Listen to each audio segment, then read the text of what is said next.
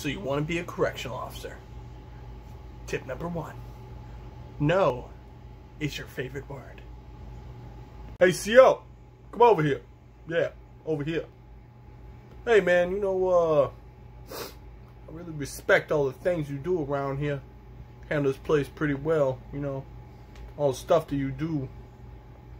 Would you, uh, mind if I get an extra tray, man? Oh, no, sorry, bro. Everybody gets one. It's the only way that's fair. Man, fuck you. I'm gonna kill you, your dog, your grass. Ain't nobody respect your ass, tubular looking motherfucker. Mother. Well, dang. I thought we were friends. Oh, hey, hey, before you leave, hey, can you give me some toilet paper? Yeah, one minute. Let me think about it. Now.